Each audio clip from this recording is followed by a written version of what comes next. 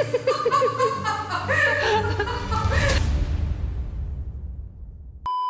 zoo, zoo, zoo. These petits. Zoo, zoo, zoo, zoo, zoo, zoo, zoo, zoo. mon Dieu qu'ils sont doux. Zoo, zoo, zoo. Zoo, zoo, zoo. Zoo, zoo, zoo, zoo, zoo, zoo, zoo. Le bruit des billes.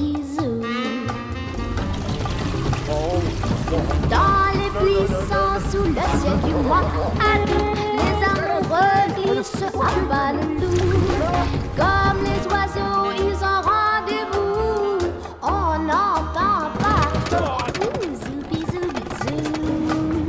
Frau Gallwitz, das Klo ist kaputt, man kann nicht mehr spülen.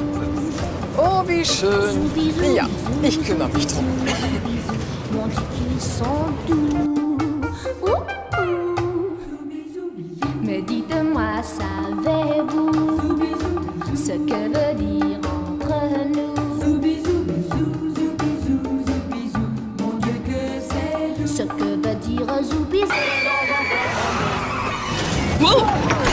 Was ist denn los?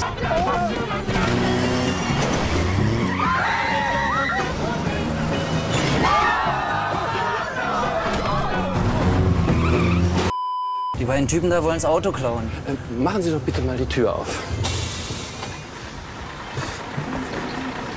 Herr Wolfert, seien Sie bloß vorsichtig. Was machen Sie da?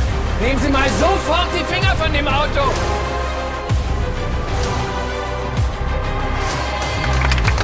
Respekt, Herr Kollege. James Bond ist ja nichts gegen Sie.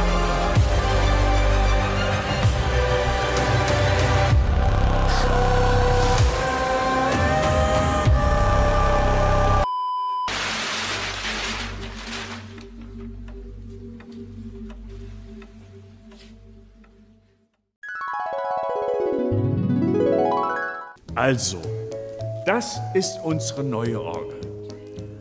Ein wahres Wunderwerk, erbaut von Berend Hus und seinem Gesellen Arp Schnittger. Er wurde später ganz berühmt. Seht ihr die vielen Pfeifen dort? Oh, das sind ja mehr als 100 Pfeifen. Mehr als 100 Pfeifen? Diese Orgel hat mehr als zweieinhalbtausend Pfeifen. Ich will auch mal auf der Orgel pfeifen. Ja, dann pfeift doch mal auf der Orgel. Und das war meiner, ja? Ja, Verzeihung. Herr Wolfert, wir hatten reserviert, also... Es wird ein bisschen enger, Wolfert. Gibt's denn kein Eis, bevor es losgeht? Ruhe auf dem Millienplätzen. Hey, es geht los.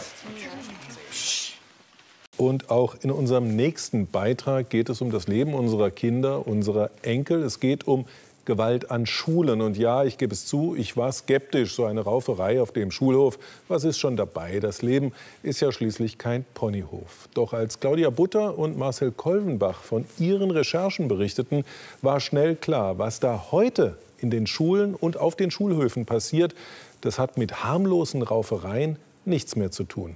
Das stürzt Kinder und Eltern in tiefe Verzweiflung.